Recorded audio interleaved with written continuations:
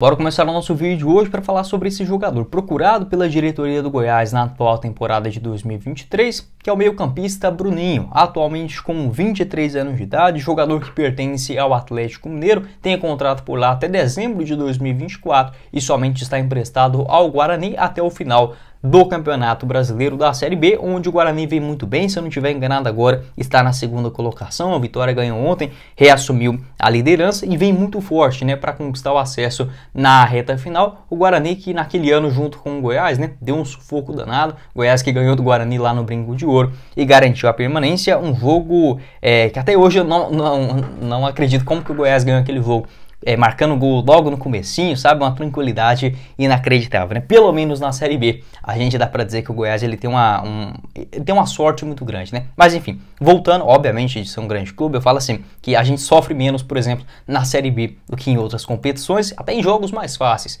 na Copa do Brasil. Voltando para o Bruninho, o jogador que esta informação confirmada pelo pessoal do é, Imprensa Verde e do Periquito Prisado também, após a disputa do Campeonato Goiano. Ele que já havia jogado muito bem no Campeonato Paulista, foram três gols marcados em 12 jogos pelo Guarani, que até começa muito bem a competição, acaba caindo um pouco de rendimento na reta final, e na Série B, da mesma forma, o Bruninho marcando 7 gols em 26 aparições. Vou deixar aqui para vocês o mapa dele de movimentação. Nessa atual disputa da Série B, pode observar que ele faz ali meio que uma, uma função na meia esquerda, caindo para dentro, um jogador bastante habilidoso. Daqui a pouco comento mais com vocês sobre as suas características. Poderia sim uma opção bem barata para o ano que vem. E muitas das vezes eu, eu trago aqui no canal jogadores, eu busco trazer jogadores de fato que foram procurados pela diretoria Alviverde e outros indicações minhas. Se fosse para mim fazer uma indicação, obviamente, às vezes eu comento sobre algumas opções livres no mercado, como por exemplo o Bosquilha,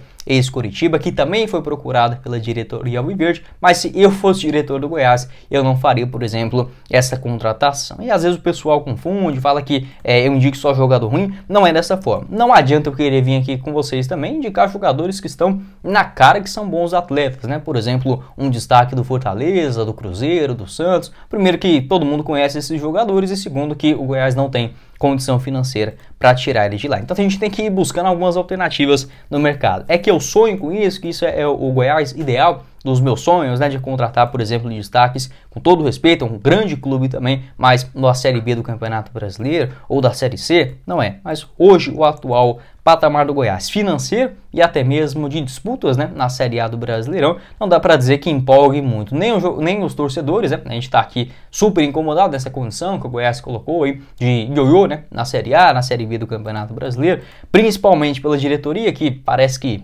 hoje o que é o Goiás hoje já está passando de bom, e isso reflete, obviamente, nas contratações. Porém, para o Bruninho, eu gosto desse tipo de, de aposta em um começo de ano. Tô para dizer para vocês que se o Goiás ficar na Série A para o ano que vem, uma contratação como o do Bruninho seria sim um jogador de responsabilidade, de chegar para brigar, por exemplo, eventualmente por uma camisa 10. É uma negociação que pode ficar mais complicada, obviamente por conta dos seus excelentes números, né, nesta Série B do Campeonato Brasileiro, já marcando 7 gols, sendo dois deles na, na última rodada, neste último domingo, diante a Tombense por 3 a 0 no Brinco de Ouro. Revelado nas categorias de base do Atlético Mineiro, onde ele surge com destaque ainda na temporada de 2018 e em 2019 foram 16 partidas no elenco profissional, com dois gols marcados, um deles inclusive contra o Goiás, né? naquela derrota no Mineirão por 1 a 0. Ele jogou muito com o Jair Ventura, né? Sempre foi uma indicação do Jair. Em 2020 no esporte, 21 aparições e uma assistência na Série B. Em 2021 no Confiança, onde ele faz uma baita temporada, marcando 9 gols em 17 jogos e novamente vai disputar a Série A do Brasileirão com a camisa do Juventude com 16 aparições. 2022 passa no CRB, números discretos né, na reta final do ano na Série B do Campeonato Brasileiro, 13 partidas, nenhum gol marcado e nenhuma assistência, até chegar agora em 2023 com a camisa do Guarani. Pode deixar sua opinião aqui embaixo nos comentários, o que você pensa a respeito desse jogador. Já não é, digamos, nenhum garotão, já sabe é, como jogar em grandes clubes né, no futebol brasileiro, vejo sim como uma, uma, boa oportunidade. O Goiás que fez esta consulta com o jogador, naquele momento possivelmente o Guarani não queria liberar ele, né, já que estava só de empréstimo. O Goiás também para fazer compensação financeira é aquele caos todo. Entretanto, com o Atlético Mineiro,